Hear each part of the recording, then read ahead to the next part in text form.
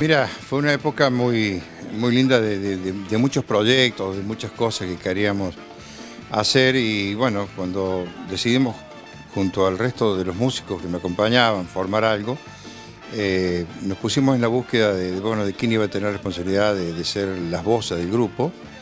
Bueno, se hizo un casting en Río Cuarto y ahí lo conocimos a Walter eh, y bueno, no dudamos en, en decir eh, o en decidir por él, ¿no? Mira cómo luce esa nena, se luce al bailar. Mueve todas sus caderas, pone a todo el mundo a mirar. Con esa carita linda, me va a enamorar. Con esa sonrisa tierna, este es el lugar. Eso especial que tenía Walter es muy difícil de explicarlo. Eh, son esas cosas que se tiene o no se tiene. No hay mucha explicación.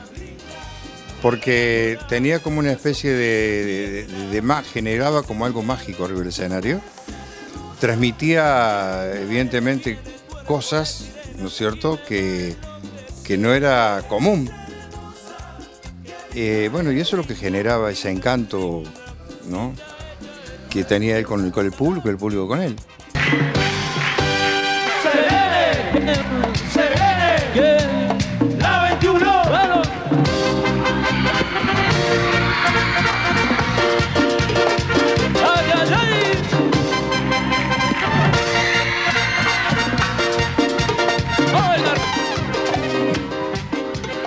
Bueno, el primer tiempo, eh, cada uno, ¿no cierto?, por su lado, tratando de, seguir adelante.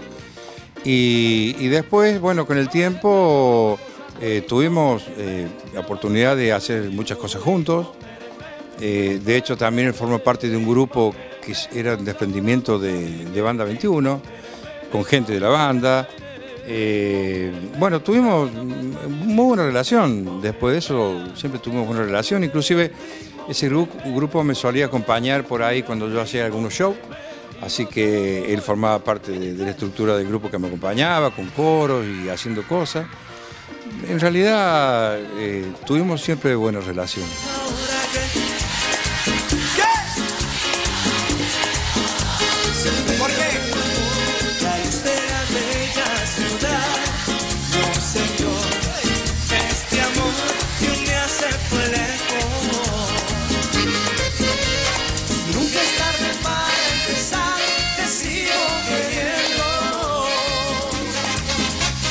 Walter oscilaba entre la euforia y.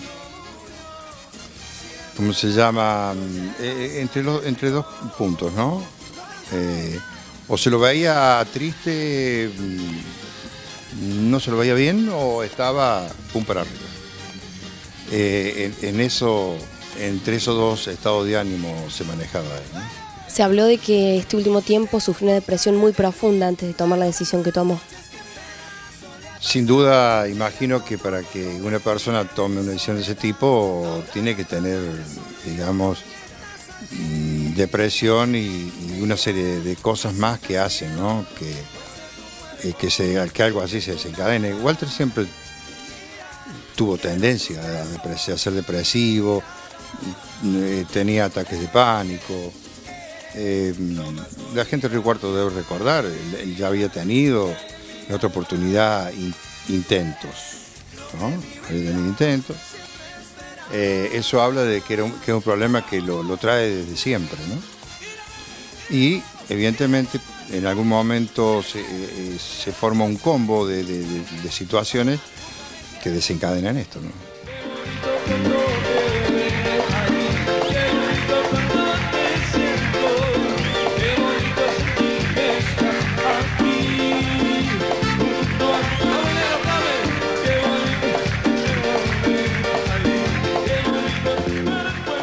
Eh, mira, sin duda Walter le puso un, sello al estilo de la banda eh, que ha quedado hasta, hasta, estos días y lo seguirá teniendo. Eh, nadie lo va a poder hacer como él. Pero em- tratamos, ¿no es cierto?, de, que ese espíritu se mantenga dentro de la banda. Es lo, lo mejor y lo más lindo que podemos hacer por la memoria de él, ¿no?